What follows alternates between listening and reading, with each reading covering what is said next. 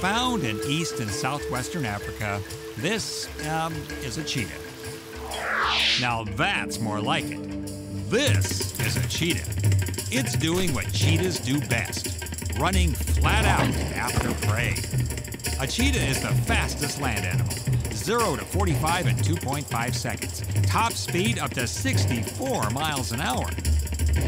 When you look at a cheetah, you're more likely to think spotted greyhound than you are big cat. I mean, look at that body. Small head, large chest, tiny waist. Clearly built for sprints rather than marathons. Weighing 75 to 145 pounds, a cheetah stands up to 3 feet tall at the shoulder. Cheetahs hang in small groups called coalitions. A lot of times, this is a band of brothers.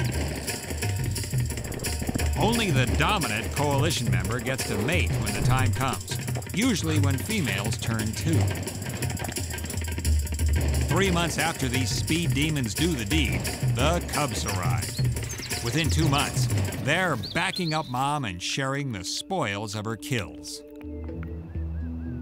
Cheetahs pursue such animals as gazelles, wildebeest calves, impalas, and smaller hoofed animals. They run them down and make their kill with a bite to the jugular. Cheetahs are an African master of fast food.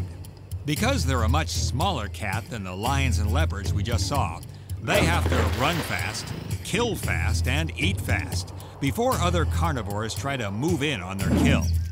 Only about 9 to 12,000 cheetahs remain in the world. And that's not a statistic to yawn about.